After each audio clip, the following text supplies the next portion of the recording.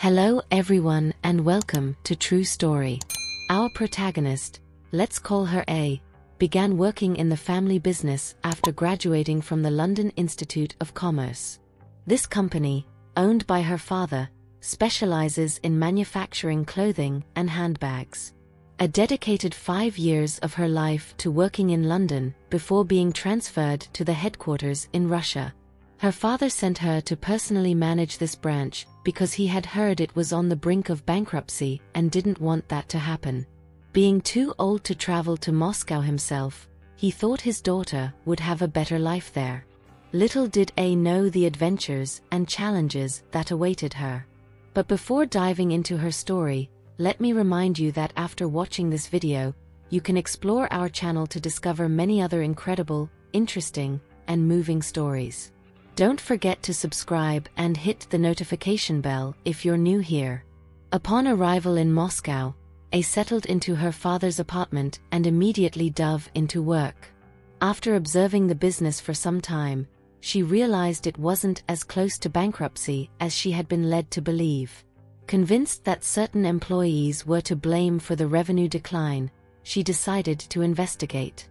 She quickly discovered that some employees spent more time chatting than working efficiently, causing production delays. To understand the situation from the inside, A accepted a position as a worker tasked with drying raw materials, allowing her to discreetly observe employee behavior. She noticed that Nikita, a frequently tardy young man, was particularly unproductive. She concluded that the lack of supervision and discipline contributed to the company's profit decline. Her plan was clear. Uncover the root causes of the problem without the employees knowing she was the new manager. Over time, she befriended Vasily, the accountant, who shared her frustrations about the irresponsible behavior of the employees. Vasily revealed to her that Nikita, the absentee superior, was primarily responsible for the situation. He managed the company negligently, squandering profits on entertainment and gambling. Not only did he fail to effectively supervise the company, but he also engaged in inappropriate relationships with some employees. This deeply concerned Vasily, who longed for the days when the company owner was present to ensure proper and profitable operation of the business. It was evident to Vikut that Vasily appreciated her, and she took advantage of it to question him about all the employees who, in her opinion, seemed unmotivated, as well as those who made efforts to work diligently.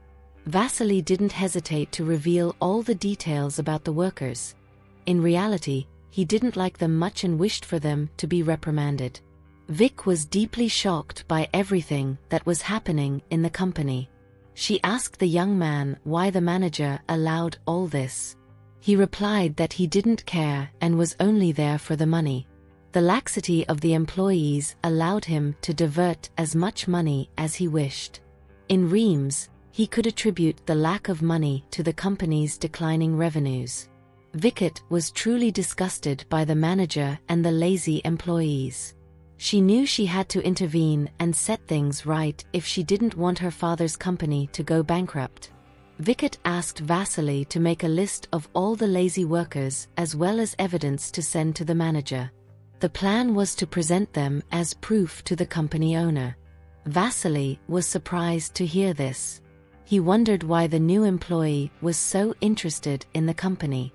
He concluded that, just like him, Vikut probably hated corruption and embezzlement. He saw similarities between them and liked her. So, he asked her out.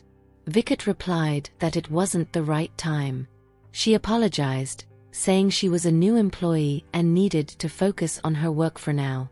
Vikut approached two workers who were talking and told them to get back to work. They laughed and asked who she thought she was, ironically calling her Je Madame Director, she and others laughed. It had been a month now, and there was still no change in the workers' attitude. Meanwhile, Nikita kept flirting with Vikut. He promised to give her money and a promotion if she agreed to sleep with him.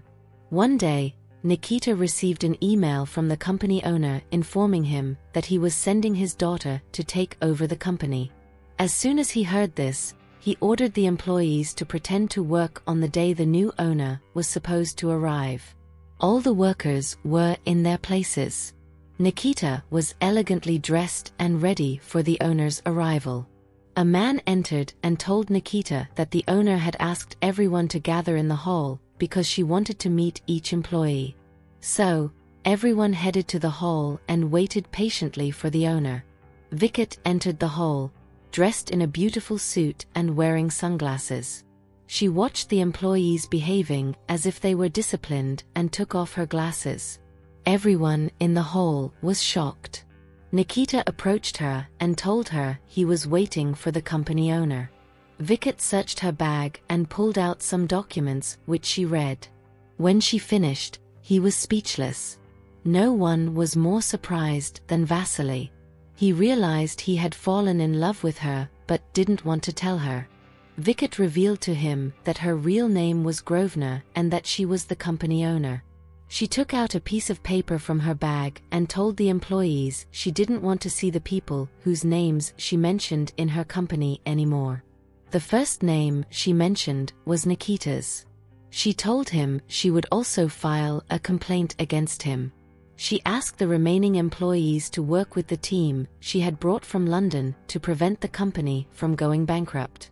She worked very hard. She signed new contracts with new partners and got heavily involved in the production and marketing of products.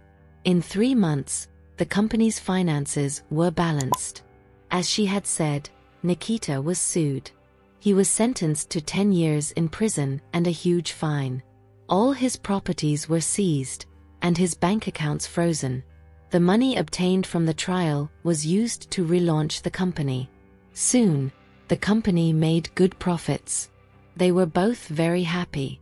Now, whenever they had free time, they spent it eating together and discussing the future. Vasily eventually confessed his love to Vicat and his desire to marry her. She was also in love with him, so they decided to be together. She then called her father to tell him the good news and invited him to come to the wedding. Her father, who had helped fight the company's fraud, was happy that things were going as planned. The couple got married in a beautiful ceremony in Moscow. They worked as a team, and the company quickly became one of the most famous clothing and handbag companies in the country. What is your opinion about this story? Let us know in the comments. If you liked this video, then click the e like a button and share it with others. See you soon on True Story.